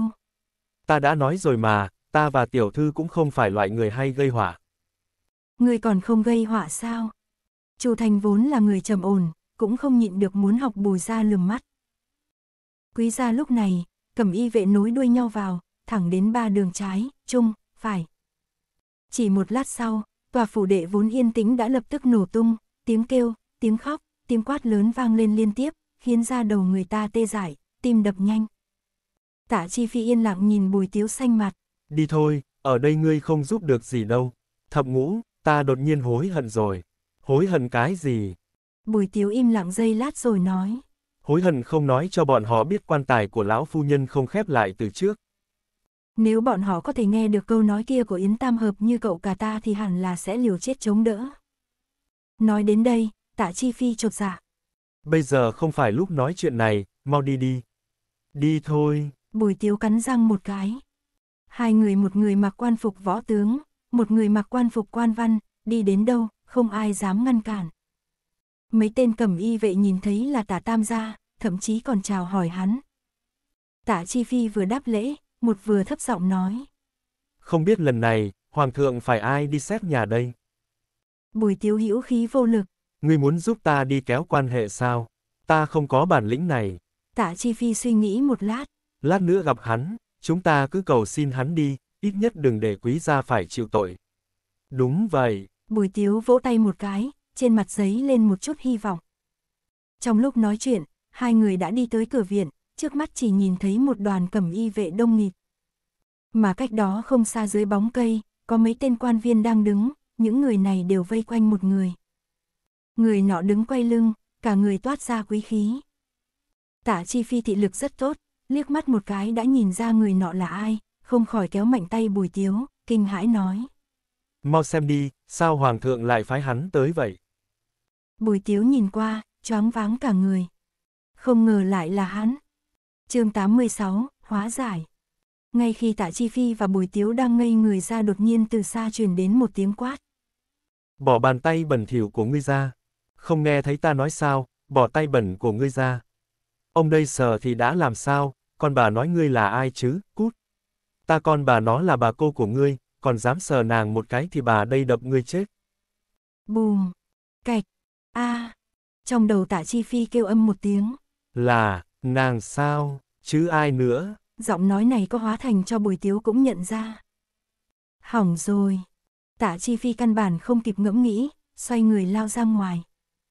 Bùi tiếu nhìn người đứng sau lưng, lại nhìn tạ chi phi đã chạy xa, rồi cũng nghiến răng đi theo. Trong cửa thứ hai, các nữ quyến quý phủ núp ở trong góc, có người mặt xám như cho tàn, có người im lặng rơi lệ.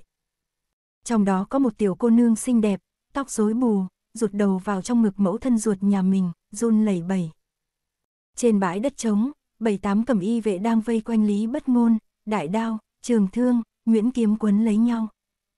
Nguyễn Kiếm trong tay Lý Bất Ngôn múa như một con rồng, nhìn như không có chiêu thức gì, nhưng tất cả đều là sát chiêu.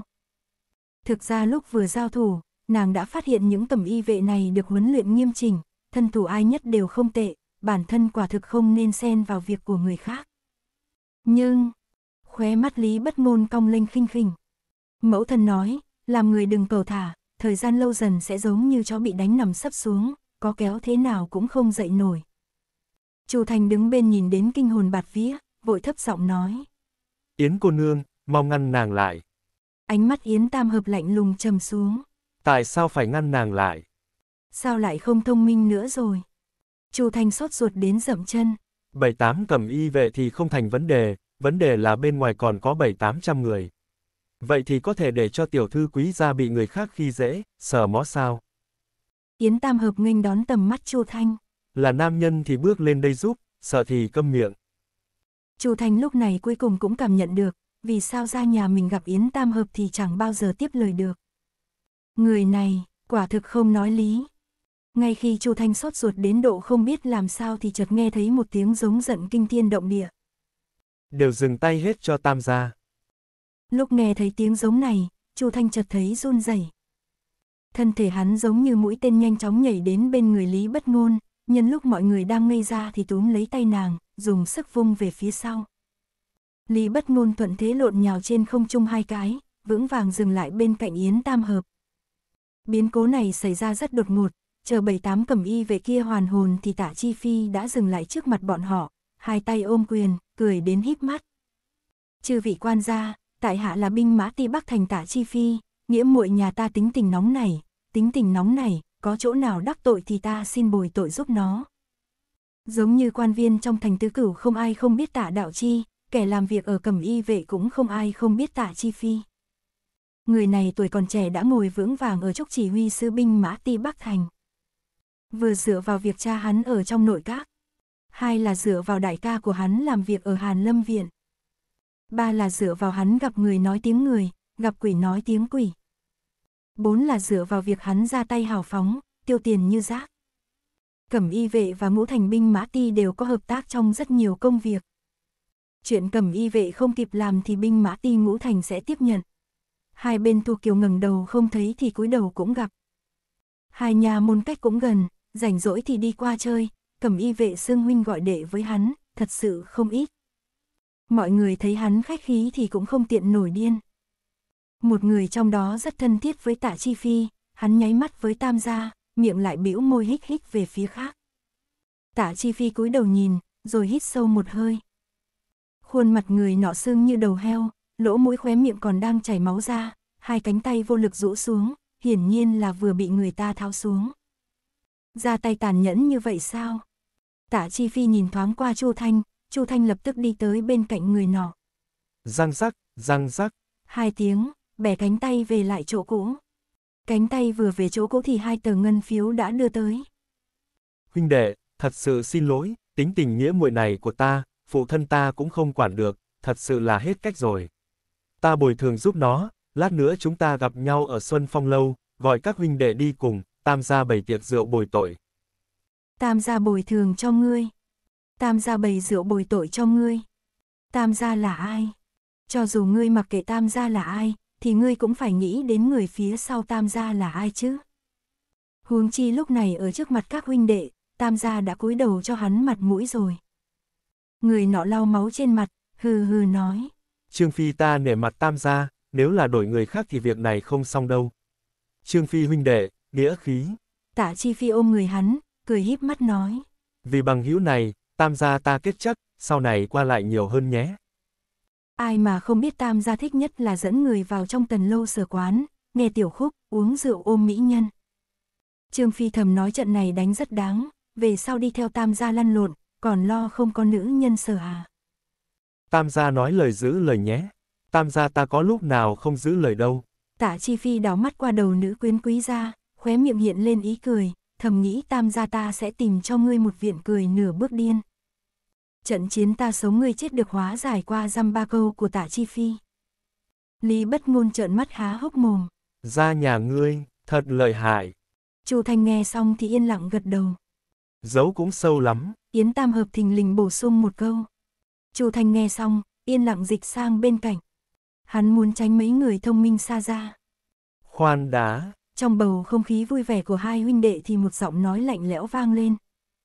Từ Lai thong thả bước lên trước. Tam gia bên trái một nghĩa muội, bên phải một nghĩa muội, đúng là có phúc. Ơ, thì ra là từ đại nhân đó à? Tạ Chi Phi nhướng mí mắt. Cơn gió nào thổi ngươi đến quý gia thế? Phụng mệnh hoàng thượng, cha xét quý gia. Từ Lai ngẩng đầu ưỡn ngực nói. Bắt được một nữ tặc cầm dao ở cửa sau quý gia, tam gia nói là nghĩa nữ của tạ gia, tạ gia có quan hệ với nữ tặc từ khi nào thế? Lời này là mắng cả tạ đạo chi. Tạ chi phi vội bảo Chu Thanh đưa đôi chủ tớ kia đi, chỉ sợ với tính tình nóng nảy của Lý Bất Ngôn, thì lúc nhìn thấy thảm trạng xét nhà sẽ đối đầu với người cầm y vệ nữa mấy. Hắn vốn cảm thấy kỳ lạ vì sao bọn người Chu Thanh đi nửa ngày rồi mà bây giờ vẫn còn ở quý phủ, lần này, xem như có đáp án rồi. Từ đại nhân đừng dọa ta chứ, nghĩa muội ta chơi múa côn, múa thương là chuyện thường ngày thôi, mấy việc như ăn trộm thì nó không bao giờ làm, cũng không có gan làm. Không có gan ư. Từ lai ngoài cười nhưng trong không cười nói. Vậy bảng hiệu hình bộ của ta bị gió thổi xuống ư. chương 87, Thái Tôn. Đúng là bị gió thổi xuống đấy. Bùi tiếu đi qua, biểu cảm cực kỳ chân thành, bình tĩnh nói. Ta tận mắt nhìn thấy mà, từ đại nhân. Từ lai lạnh lẽo hừ một tiếng. Ban ngày ban mặt, sao bùi đại nhân lại trợn tròn mắt nói dối như thế? Bùi tiếu chắp tay trước ngực, nghiêm trang nói. Tăng lục đạo đều là hòa thượng lục căn thanh tịnh, người xuất gia không nói dối, A-di-đà Phật. Ngươi còn A-di-đà Phật với ta sao? Từ lai cười gằn. Bùi đại nhân vẫn nên cầu xin Bồ Tát phù hộ cho nữ quyến quý ra đi, lần này có thể bảo vệ được sự trong sạch, lần tới vào phường giáo ti, không phải vẫn phải bị nam nhân cầm chân lên sao? Nói chúng tim đen. Bùi tiếu chỉ một giây sau đã biến thành câm điếc, chỉ còn lại lửa giận hừng hực trong mắt. Lời của từ lai không khác gì ném một tiếng sấm đánh lên đầu nữ quyến quý phủ, mọi người đều khóc nức nở. Nữ tử thế gian gà gà theo gà, gà chó theo chó, trời đất cả đời đều ở trong mấy tấc hậu viện kia, bao nhiêu vướng bận đều đặt hết lên người nam nhân và con cái. Ngoài ra thì không còn gì khác. Hôm nay trời đất thay đổi, nam nhân ngã xuống, bản thân sắp lưu lạc thành đồ chơi dưới quần nam nhân khác, thật thảm thương, trừ khóc ra thì họ còn có thể làm gì khác nữa. Trong tiếng khóc, từ thị lang đắc ý nhìn tạ chi phi. Tam gia nói là nghĩa muội mình nên ta đành nể mặt tam gia, mắt nhắm mắt mở thả người, chỉ là... Tạ chi phi vẫn mỉm cười. Nhưng mà cái gì vậy, từ đại nhân? Trong mắt từ lai có chút nước lã, nhưng trước khi nói, tam gia phải vuốt thẳng cái lưỡi đã. Tạ chi phi ra vào hoa lầu biết bao nhiêu lần, sao lại không biết họ từ có ý gì, chỉ là giả ngu giả dại không tiếp lời mà thôi. Nào biết Trương Phi nghe xong, lập tức hăng hái, chỉ vào Lý Bất Ngôn cười ha ha. Nghĩa muội và sao sao sao muội cũng chỉ khác nhau có một chữ, tam gia à, người kiềm chế một chút nhé. Sao chỗ này tục quá em cũng chả muốn giải thích lắm đâu, cơ mà nói cả em en hong hiểu thì không biết cái nết ông này mất dạy thế nào. Từ này phiên âm là can muội muội, danh từ thì là em gái nuôi, nà động từ can cộng danh từ muội muội thì thành xxx em gái. Tục vãi, giải thích gớm cả tay. Kiềm chế muội muội ngươi. Lý bất ngôn thấy quý gia tiểu thư bị sỉ nhục còn nhịn không được, há có thể để cho hai tên xúc sinh kia mắng yến tam hợp. Nàng tung người bay đến trước mặt Trương Phi, hai tay trái phải dương lên. Bốp, bốp. Ta đập chết 18 đời tổ tông. Trương Phi chửi ầm lên, đồng thời rút đao chém về phía Lý Bất Ngôn. Lý Bất Ngôn mà để cho tên này đụng vào mình thì nàng không phải tên Lý Bất Ngôn nữa, huống chi, nàng còn có một người chưa giải quyết. Nàng hơi lùi lại, người đã đến trước mặt Từ Lai. Từ Lai vốn không ngờ thân thủ của cô gái này lại nhanh như vậy, sợ tới mức biến sắc. Ngay lúc Lý Bất Ngôn chuẩn bị đá một cước thì chợt phát hiện phía sau có vật gì gào thét lao tới. Ánh mắt nàng chợt nứt ra, vội chờ mình, thứ kia lướt qua mặt nàng rồi đâm vào gốc cây. Đó là một mũi tên dài. Lý Bất Ngôn xoay người, ngọn lửa trong mắt lóe lên. Nam tử bắn tên nhìn hơn 20 tuổi, dáng vẻ mạnh khỏe, hắn thu cung trong tay lại, lui sang một bên, nhường ra một đường lát đá xanh. Cuối con đường lát đá xanh, có một người bước đến chậm chậm. Trong viện vừa rồi còn khóc lóc ầm ĩ, chỉ trong nháy mắt đã yên tĩnh đến mức chiếc kim rơi có thể nghe thấy, đến tiếng hít thở cũng không còn. Thời gian dường như cũng dừng lại vào giờ khắc này. Người đi tới là người như thế nào? Nho sam trắng thuần, ngọc quan dài đen, nụ cười trên mặt trầm tĩnh lại khiêm tốn, cả người giống như là nước ở khe núi, trúc ở bên rừng, sạch sẽ tinh tươm, ôn hòa thanh quý. Công tử như ngọc, mạc thế vô song, như cắt như gọt, như rũa như mài. Tất cả những từ ngữ đẹp nhất trên thế gian này, đều không đủ để hình dung chính xác. Mơ lầm, em cũng muốn nhìn hử. Lúc đến gần, hắn dừng bước lại khẽ cười, gương mặt sáng ngời. Ở đây sao ồn ào vậy? Mọi người lập tức quỳ xuống đất hành lễ, chỉ có Yến Tam Hợp và Lý Bất Ngôn giống như hai kẻ ngốc, chỉ lo sướng sờ nhìn hắn, không nhúc nhích. Yến Tam Hợp, hắn là ai? Lý Bất Ngôn, là thần tiên. Thần tiên chắp hai tay sau lưng, ánh mắt đảo qua hai người, giọng nói dịu dàng. Cô nương nhà ai mà lạ mặt thế? Bẩm Hoàng Thái Tôn Điện Hạ. Tạ Chi Phi quỳ vội ngẩng đầu. Các nàng là thân thích tạ gia ta, vừa mới từ phủ Vân Nam xa xôi tới, chưa từng được học lễ nghi gì. Hai người các ngươi, còn không mau quỳ xuống hành lễ với Điện Hạ. Hoàng Thái Tôn, Yến Tam Hợp cả kinh, không chỉ không quỳ xuống, ánh mắt còn trầm xuống rất nhiều. Thái Tôn chính là con trai trưởng của Đông Cung Thái Tử, phía trước có thêm chữ Hoàng, có nghĩa là người này là Thái Tử tương lai do Hoàng đế khâm định, tương lai sẽ kế vị. Quý Lăng Xuyên là người của Thái Tử, quý gia xét nhà, Hoàng đế phái Hoàng Thái Tôn tới chủ trì đại cục, là cố ý và mặt Thái Tử. Hay là có dụng ý khác đây? Triệu Diệp thời nhận ra ánh mắt Yến Tam Hợp, khóe miệng khẽ nhếch lên. Không có lễ nghi rồi mà lá gan cũng không nhỏ. Mau hành lễ đi. Hai mắt tạ chi phi suýt nữa thì bốc hỏa, miệng mũi phun khói. Yến Tam Hợp hoàn hồn, kéo Lý bất ngôn ôm quyền với Triệu Diệp thời. Đây là hành lễ sao? Tạ Chi Phi không còn mặt mũi nào nhìn lại, đành phải làm bộ quát lớn. Quy củ ở nhà chưa học xong, đã chạy ra đây làm mất mặt xấu hổ, ta phải nói các người thế nào đây? Miễn đi. Triệu Diệp thời khoát tay nói. Các người cũng đứng lên đi. Tạ ơn Hoàng Thái Tôn Điện Hạ. Mọi người đồng loạt đứng lên. Triệu Diệp thời nheo mắt, dường như có hơi khó hiểu. Nếu là nữ quyến tạ ra, vậy thì vì sao lại ở quý phủ? Yến Tam Hợp đưa tay vỗ nhẹ lên vai Lý bất ngôn, sau đó tiến lên một bước. Chúng ta đi ngang qua cửa sau quý gia, có người cứ nói chúng ta là nữ quyến của quý gia, rồi dẫn chúng ta vào. Ồ! Một tiếng ồ này của Triệu Diệp Thời, hờ hững đến mức khiến người ta không nhận ra hỉ nộ trong đó. Lòng từ lai hơi chấn động, vội bước lên trước. Hồi bẩm Hoàng Thái Tôn Điện Hạ, là vị cô nương này giữa ban ngày cầm trong tay một thanh nguyễn kiếm, hạ quan mới đưa các nàng tới quý phủ để hỏi thăm. Hắn chỉ vào lý bất ngôn. Nào ngờ người này vừa bước vào đã đả thương cẩm y vệ. Ồ! Lại là một tiếng ồ khiến người ta không nhận ra hương vị trong đó, từ lai nghĩ đến thân phận địa vị của vị gia này, tim đập như sấm. Hạ quan nể mặt tà tam gia, vốn đã tha cho nàng một mạng, nào biết người này lại dám hành hung đả thương người. Hạ quan hối hận không nên nể tình riêng, xin điện hạ trách phạt. Ôi trà! Lý bất ngôn đột nhiên cười khúc khích.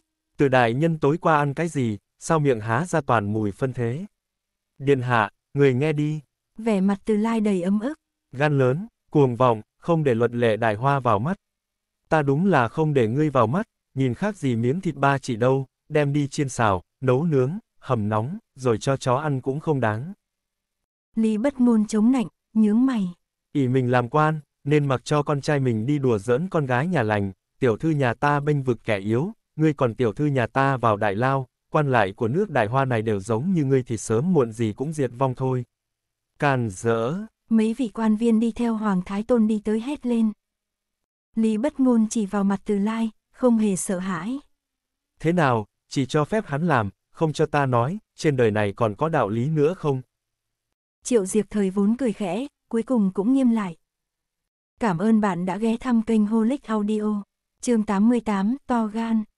Mọi người không dám nói thêm một chữ, ai nấy đều hết hồn hết vía nhìn Lý bất ngôn, thầm nói, người này ăn gì mà lớn gan như thế. Điên rồi sao? Gan Lý bất ngôn còn lớn hơn nữa cơ. Hoàng Thái Tôn Điện Hạ. Nàng nhìn Triệu Diệp Thời mỉm cười. Ta muốn cáo ngự trạng. Triệu Diệp Thời sống 23 tuổi đâu, lần đầu tiên thấy có người muốn cáo ngự trạng mà còn cười được. Ngươi cứ nói đi, quý gia xét nhà thì xét nhà, sấm chớp mưa gió đều là ơn trời, những thứ này những dân chúng chúng ta không quan được, nhưng tay của cẩm y vệ có thể sạch sẽ một chút được hay không? Ý cô nương là gì? Triệu Diệp Thời khẽ nhíu mày. Nữ tử nội trong coi sự trong sạch như mạng sống, nam nhân bẩn đưa tay sờ thì khác gì ép họ tìm chết. Lý bất ngôn quay đầu, hung tợn nhìn từ lai. Không so được với loại người như ta, tướng mạo thô bỉ, tính cách cứng ngắc, ai dám động ta thì cá có thể không chết, nhưng lưới chắc chắn sẽ rách. Ngươi, ngươi, ngươi. Từ lai vừa kinh hãi vừa giận dữ, lúc này chỉ hận phụ mẫu không cho hắn một cái miệng khéo léo. Giọng triệu diệp thời có hơi lạnh lẽo. Là ai?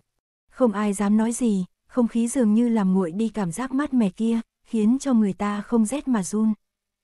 Là hắn. Trong đám nữ quyến, Ninh Thị đầu đầy chân chân phỉ thúy đứng ra, chỉ vào Trương Phi. Chính là hắn, hắn ước hiếp cửu cô nương nhà chúng ta, ta nhìn thấy rõ ràng, tay của tên xúc sinh kia đã sờ tới rồi. Tam tẩu, tam tẩu đừng nói nữa, đừng nói nữa mà. Tứ phu nhân quý phủ ôm con gái mình, gào khóc. Cho con ta một con đường sống đi. Ninh thị thật muốn một tay chống nạnh, một tay chỉ vào mũi tứ phu nhân mắng ba ngày ba đêm. Hoàng Thái Tôn là ai? Là con trai của Thái tử đấy. Người ta đã cao ngự trạng cho rồi mà ngươi còn nhẫn nhịn khôn nói. Cũng bởi vì có một mẫu thân như ngươi nên con gái ngươi mới bị người khi dễ đó, đổi thành con gái ta xem, ta đây sẽ liều chết mà đồng quy vu tận với tên xúc sinh kia luôn. Dứt lời, cả đình viện chợt tĩnh mịch.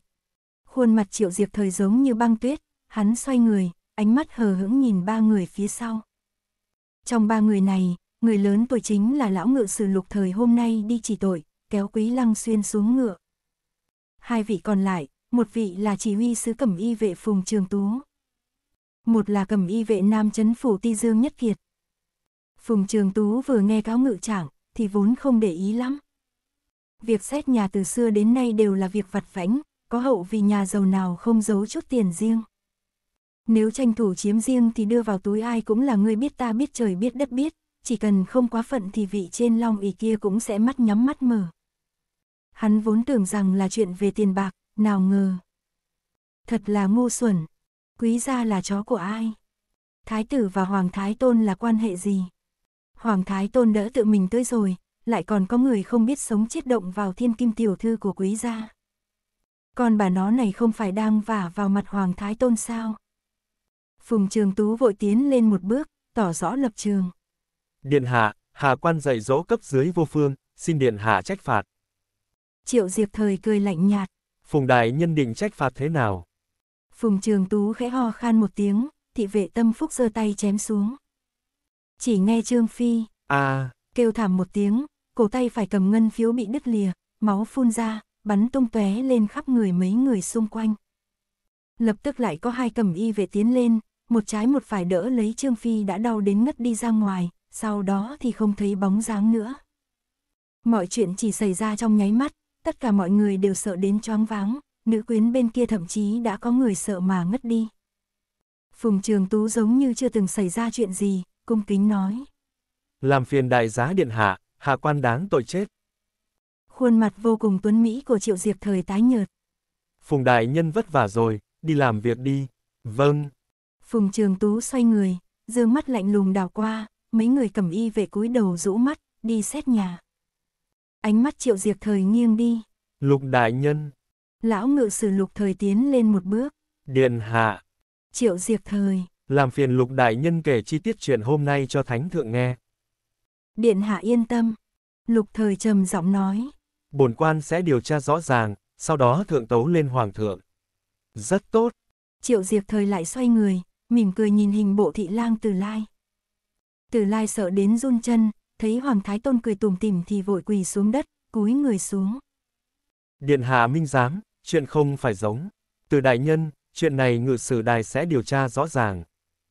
Hoàng Thái Tôn ngắt lời, khom lưng đến đỡ từ lai đứng dậy. Từ đại nhân đi chuyến này là vì quý gia, chuyện quý gia hệ trọng hơn, ngàn vạn lần không thể được cái này mất cái kia. Không có một tiếng trách cứ, giọng nói còn ấm hơn gió xuân thổi qua. Từ lai lại thấy dưới chân lạnh lẽo. Vâng, thưa điện hạ. Tả đại nhân, bùi đại nhân. Vâng, thưa điện hạ. Tả Chi Phi và Bùi Tiếu đi lên phía trước. Triệu Diệp Thời nhìn hai người, sắc mặt không vui. Lúc này còn chưa tan làm, sao hai vị lại ở đây? Tả Chi Phi thầm nghĩ không hay rồi, bèn cười làm lành nói. Chúng ta chỉ tới xem thôi. Bùi Tiếu ngẩng đầu. Là ta bắt hắn tới đây. Triệu Diệp Thời thản nhiên nói. Xem đủ chưa? Tả Chi Phi vội cười nói. Xem đủ rồi, đủ rồi, thần xin cáo lui. Bùi Tiếu nhỏ giọng thở dài. Thần cũng lập tức cáo lui. Khoan đá. Triệu Diệp Thời thở dài.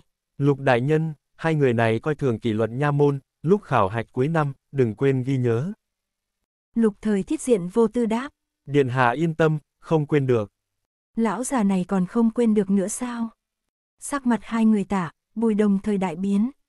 Vốn hai quan bọn họ đều là dùng tiền quyên góp, cuối năm khảo hạch lại ghi nhớ một khoản này thì sao còn mỏng thăng chức nữa đây. Thì mình rót nhiều tiền vô, hai anh giàu mà, hí hí. Tạ Chi Phi nhìn Bùi Tiếu, không ngờ Bùi Tiếu cũng dùng vẻ mặt chờ mong nhìn hắn. Bốn mắt nhìn nhau. Ấy, xui xẻo tự nhận đi. Tạ Chi Phi liếc Lý Bất Ngôn một cái. Đi thôi, bà cô của tôi. Lý Bất Ngôn cười hề hề, kéo tay tiểu thư nhà nàng. Tiểu thư, chúng ta đi thôi. Yến Tam Hợp nhìn thoáng qua Ninh Thị, chủ tớ hai người hùng dũng ngoai vệ, khi phách hiên ngang đi qua trước mặt Triệu Diệp Thời. Biểu cảm của tạ chi phi giờ phút này kiều. Có cái lỗ nào trên đất không để ta chui vào với. Vừa hành lễ với Triệu Diệp Thời, vừa lui ra ngoài với Bùi Tiếu. Trong góc, Ninh Thị đeo một đầu chân châu phỉ thúy, đồng thời cũng đeo một mớ câu hỏi. Yến cô nương kia rốt cuộc là ai? Sao lúc là nữ quan, lúc lại là nghĩa muội của tam gia thế? Còn có, vừa rồi nàng nhìn mình, là có ý gì? Đi ra khỏi quý phủ đang rối tung, xe ngựa tạ phủ đã chờ ở cửa. Yến Tam Hợp và Lý Bất Ngôn vừa lên xe ngựa, thì đột nhiên vén rèm lên, Bùi Tiếu và Tạ Chi Phi một trước một sau nhảy lên. Xe ngựa vốn rộng rãi, lập tức trở nên chật trội. Yến Tam Hợp rất không thoải mái, nhướng mày. Đi xuống, ngươi câm miệng. Bùi Tiếu ôm quyền với Lý Bất Ngôn. Lý cô nương, lúc trước ta có gì đắc tội thì người đại nhân đại lượng bỏ qua, chuyện vừa rồi. Đừng cảm ơn ta, bất ngôn. Giọng nói của hai chủ tớ gần như đồng thời vang lên. chương 89, nhảy xe. Bùi tiếu ngẩn ra, nhìn Lý bất ngôn, nhìn Yến Tam Hợp, lại ngẫm lại hai câu vừa rồi, đột nhiên gân xanh thái dương nhảy dựng. Cho nên, người ta phải cảm ơn là Yến Tam Hợp. Là nàng ám chỉ cho Lý bất ngôn nhảy ra cáo ngự trạng. Nhưng mà, nàng ám chỉ điều đó khi nào? Còn bà nó, sao ta không thấy gì cả? Bùi tiếu nhìn chằm chằm Yến Tam Hợp hồi lâu, sau đó giống như kẻ ngốc dùng sức vỗ đầu mình. Hắn nhớ ra rồi. Hoàng Thái Tôn đầu tiên là hỏi Yến Tam Hợp, Yến Tam Hợp trước khi trả lời có vỗ vỗ vai Lý Bất Ngôn. Tất cả mọi chuyện sau đó đều do một mình Lý Bất Ngôn hát tuồng. Hắn vốn còn buồn bực, rõ ràng có Yến Tam Hợp đứng đó, Lý Bất Ngôn cũng không lắm miệng, sao hôm nay cô nương này lại mồm mép lưu loát như vậy. Bùi Tiếu khiếp sợ, Tạ Chi Phi còn khiếp sợ hơn hắn, tim đập mạnh một hồi lâu, thấp giọng nói. Lần đầu tiên động thủ, cũng là do tiểu thư nhà ngươi ra hiệu sao. Không có sự cho phép của tiểu thư, ta làm sao dám chứ? Lý bất ngôn vừa nói xong, thì phát hiện đã mắc mưu, âm thầm chửi mình một tiếng rồi dùng cánh tay cọ cọ Yến Tam Hợp. Tiểu thư, chuyện này không thể trách ta, kẻ địch quá xảo quyệt mà ta lại quá ngây thơ. Ta xảo quyệt ư. Tạ Chi Phi nhìn Yến Tam Hợp, ánh mắt sáng bức người. Yến Tam Hợp không quen bị hắn nhìn như vậy, thân thể dựa về phía sau, nhắm mắt lại, vẻ mặt như không muốn nhiều lời. Cô không muốn nói, nhưng tạ Chi Phi lại có một bụng lời muốn hỏi. Yến Tam Hợp, ngươi có biết làm như vậy rất nguy hiểm không? Nếu ta và Minh Đình rời quý phủ sớm một bước thì ngươi định làm gì? Ai tới cứu các ngươi? Yến Tam Hợp chẳng thèm nhấc mí mắc lên. Cái chữ, nếu, này của ngươi thật vô nghĩa, chẳng phải các ngươi chưa rời đi sao? Khuôn mặt tuấn tú của tả chi phi tức đến vặn vẹo. Hắn ngàn lo vạn lắng lý bất ngôn gây hỏa, thì ra kẻ gây hỏa thực sự lại là vị tổ tông này. Yến Tam Hợp, ta là nói lỡ như, lỡ như ngươi có hiểu hay không? Yến Tam Hợp bị hỏi đến phiền, mắt đen trợn lên. Tạ Chi Phi, ta không biết cái gì gọi là lỡ như, ta chỉ biết làm hết sức mình, nghe theo thiên mệnh. Ngươi, còn nữa, Ánh mắt Yến Tam Hợp càng lạnh hơn. Tâm ma của lão phu nhân còn chưa giải được, ta không muốn ai gặp chuyện không may cả. Lỡ như cửu tiểu thư gì đó là tâm ma của lão phu nhân thì quý gia đời này đừng hòng xoay chuyển tình thế. Tạ Chi Phi. Không khí trong xe ngựa lạnh lẽo như băng. Tạ Tam gia cảm thấy từ sau khi quen biết Yến Tam Hợp, bầu không khí kết thành băng này đã thành cơm bữa, thần tiên cũng không cứu được. Hắn cũng cảm nhận chân thật rằng, Yến Tam Hợp này đã không phải là một bí ẩn, mà là một bảo tàng. Mỗi lần tới gần một chút, lại đào ra một chút kỳ chân dị bảo trên người nàng. Yến Tam Hợp, ta không có ý trách cứ ngươi, mà hoàn toàn ngược lại. Tả Tam gia khẽ thở ra, ánh mắt chân thành tha thiết. Ta và Minh Đình đều thật lòng cảm kích ngươi, nhưng đồng thời ta cũng không hy vọng ngươi gặp chuyện không may, ngươi phải sống thật tốt, không được thiếu cọng tóc gáy nào, ngươi có thể không? Lời này dù là người có lòng dạ sắt đá nghe xong, cũng sẽ mềm lòng vài phần. Nhưng Yến Tam Hợp lại giống như là chưa thông suốt, trả lời hắn một câu. Ta đâu thiếu một cọng tóc gáy nào đâu. Được rồi. Người giỏi, người giỏi nhất. Tạ Chi Phi không còn gì để nói, giơ hai tay lên tỏ vẻ đầu hàng. Hơn nữa, không phải còn có Chu Thanh sao? Tạ Chi Phi thầm nghĩ, ta có thể giơ hai chân lên, tỏ vẻ đầu hàng không? Chu Thanh là người của Tạ Tam gia, bao nhiêu người quen biết cẩm y vệ thì bấy nhiêu người biết Chu Thanh. Chu Thanh thực sự muốn ra tay cứu người thì cẩm y vệ ít nhiều cũng nể mặt hắn, vấn đề là Yến Tam Hợp, làm sao ngươi biết Chu Thanh chắc chắn có thể bảo vệ các ngươi? Nếu hắn không bảo vệ được chúng ta, thì sẽ không để tên cậu quan kia mang chúng ta vào từ cửa sau, hắn không phản kháng, chứng minh trong lòng hắn nắm chắc. Yến Tam Hợp híp mắt. Nếu hắn đã nắm chắc, như vậy ta còn sợ cái gì? Thật sự vô cùng cẩn thận tinh tế. Tạ Chi Phi ngoài mặt nhìn vô cùng chấn định, nhưng khóe miệng vẫn không nhịn được co rúm lại. Minh Đình, người còn có gì muốn nói, dù sao ta đã không còn lời nào để nói nữa rồi. Bùi tiếu ho khan một tiếng, hai chân quỳ xuống, vái giải Yến Tam Hợp. Lời hay ta không biết nói, cửu muội thân với ta nhất, ngươi cứu nàng chính là cứu ta, cô nương về sau có chuyện gì chỉ cần mở miệng.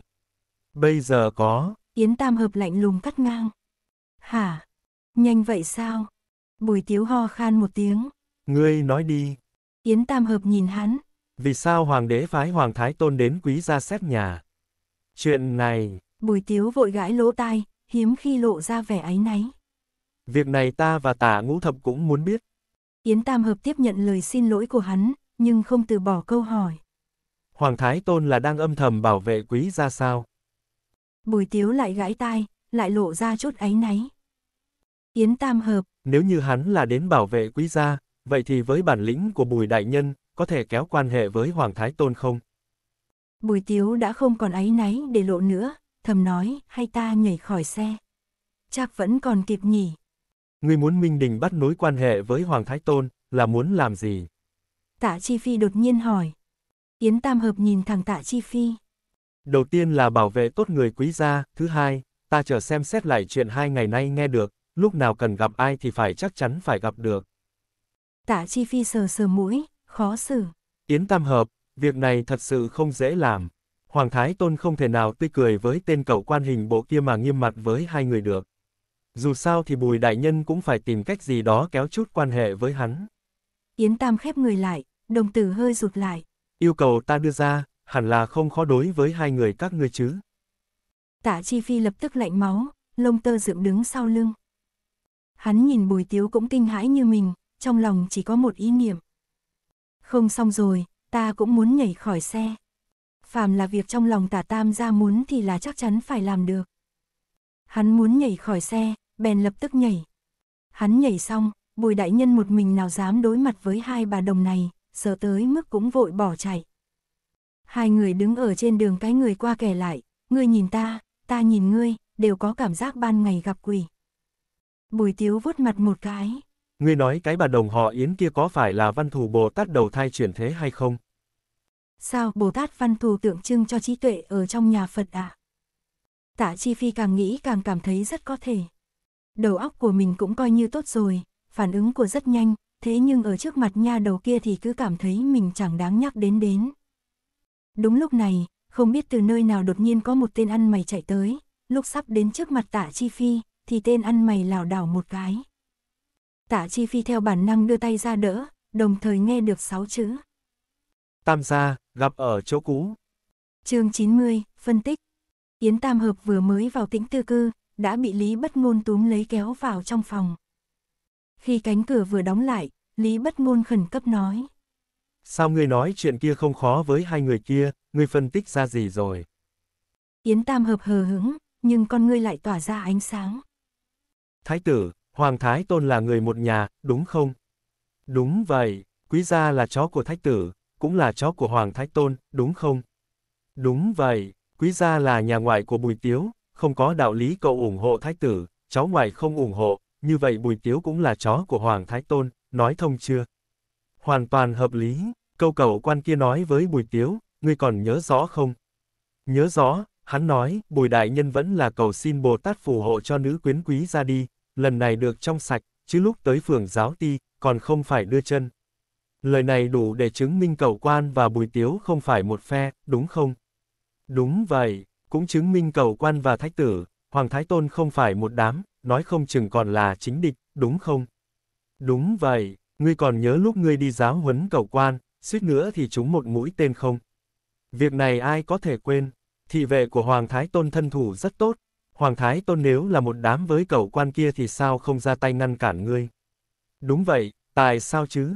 Đó là bởi vì cầu quan và Trương Phi kia không giống nhau. Trương Phi là một cầm y vệ, chỉ là thị vệ nho nhỏ, tàn phế hay chết gì cũng không có gì quan trọng.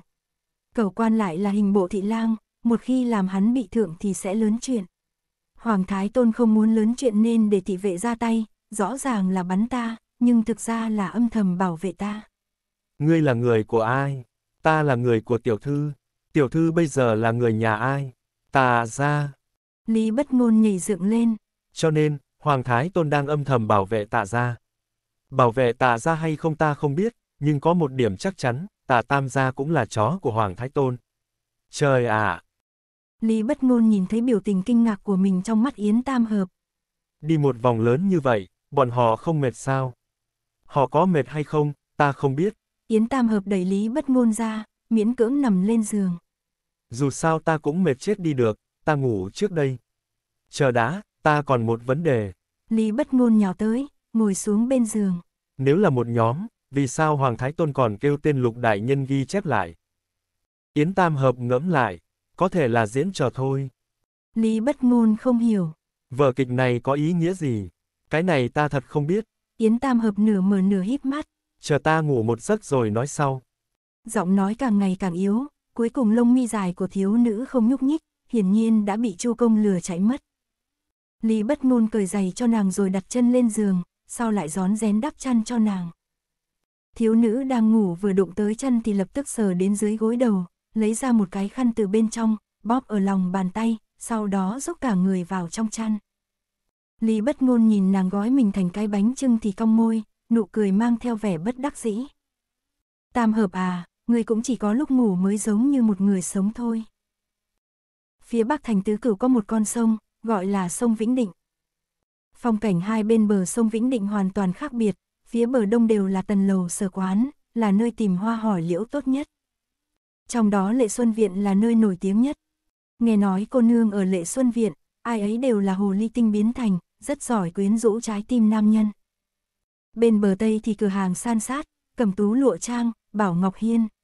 Đều tỏa lạc ở đây. Nổi tiếng nhất bờ Tây là phường khai cử. Phường khai cử cũng có thể câu dẫn lòng nam nhân, nhưng không phải cô nương câu, mà là dùng bạc câu. Ở đây, có thể nhìn thấy dân cờ bạc phất nhanh sau một đêm, cũng có thể nhìn thấy kẻ nghèo rớt mồng tơi chỉ còn lại cái quần cộc. Kỹ viện, song bạc chỉ cách nhau một con sông, giống như như bên cạnh người quá vợ, là quả phụ xinh đẹp quyến rũ, rốt cuộc phải xảy ra bao nhiêu chuyện chứ. Vì thế, chỉ huy sứ binh mã ti Bắc thành tả tam gia chỉ cần rảnh rỗi thì sẽ tuần tra sông Vĩnh Định. Đương nhiên, công việc vừa làm xong, tam gia cũng sẽ vào phường khai cử đánh mấy ván kiếm tài vận. Tam gia đi đánh bạc, không giống với đám già trẻ hôi thối kia. Tam gia đi đánh bạc cũng phải cần một chữ nhã, phải lên thuyền phường. Thuyền phường không phải người nào cũng có thể lên, đồ bài trí ăn uống bên trong này nghe nói đều là cống phẩm. Thành tứ cửu lớn như thế, nhưng chỉ có những vương hầu tướng quân, phú quý ngập trời mới có tư cách lên thuyền này. Thuyền chậm rãi lắc lư trong sông, hắn đứng dựa vào cửa sổ, nhìn sông nước biếc, xuân sắc nửa thành đều thu hết vào đáy mắt. Quý nhân vừa ngắm cảnh, vừa tán gẫu chuyện quốc gia thiên hạ, chờ tán gẫu xong mới huân hương lên bàn đánh bạc. Đánh bạc xong, trên đường về gặp cô nương tần lâu sở quán nào thuận mắt thì mời lên thuyền ở với nhau một đêm. Phong lưu khoái lạc tới cỡ nào. Buổi tối hôm nay, bùi ra vì chuyện của quý gia mà tâm trạng xa sút bị huynh đệ đáng tin cậy tả tam gia dụ đến phường khai cử. Trưởng quầy đã sớm chờ ở đây, thấy khách quý đến thì vung khắn lên, ưỡn hai bộ ngực lớn tiến lên nghênh đón. Ôi, hai vị gia của ta, lâu ngày không gặp. Dùng phấn gì vậy, hun chết ra rồi, cút ngay. Bùi tiếu đang khó chịu, bèn đẩy người qua cho tả tam gia, tự mình lên thuyền phường. Mai nương thuận thế dựa sát vào lòng tam gia, nũng nịu nói. Tam gia có nhớ Mai Nương không, Mai Nương nhớ ngài muốn chết. Ai có thể ngờ được đại trưởng quỹ sòng bạc lại là một nữ tử xinh đẹp. Bàn tay phong lưu của tả tam gia nắm lấy khuôn mặt xinh đẹp của Mai Nương. Ngươi đâu phải nhớ ta, ngươi là nhớ bạc trong túi ta thì có. Ôi, tam gia thân mến của ta, Mai Nương muốn bạc của ngài, cũng người thân thể ngài, lâu rồi Mai Nương không được dính vào thân thể ngài rồi. Tả tam gia liếc mắt, cười lãng mạn. Ngươi không sợ bị ta giết chết trên giường sao, chết dưới thân tam gia, thành ma cũng mãn nguyện. Mai Nương ôm chặt lấy cánh tay tả tam gia, vừa lên thuyền, vừa nháy mắt quyến rũ với tả tam gia. Hôm nay tam gia nếu không giết Mai Nương thì đừng hòng lái thuyền này về. Lái thuyền đi. Ở nơi không xa lắm. Có mấy con quỷ đánh bạc đang vén vạt áo lên. Xả nước. Xuống sông, vừa vặn nghe hết cuộc đối thoại của hai người. Nếu nói đến nữ nhân thì phải giống như Mai Nương, trên giường mới đủ vị, sóng là sóng thật, lẳng lơ cũng là lẳng lơ thật. Cũng không nhìn xem người ta trước kia làm gì, ta nói cho các ngươi biết, Mai Nương trước kia là hoa khôi bên bờ kia đó, quỷ đoàn mệnh tam gia kia, chết trên giường nàng mới đúng hơn. Chết cũng không buông, nghe nói tam gia lúc trở về từ phường thuyền, sắc mặt trắng bệch, mắt đen lại, chân cẳng bước đi cũng run rẩy.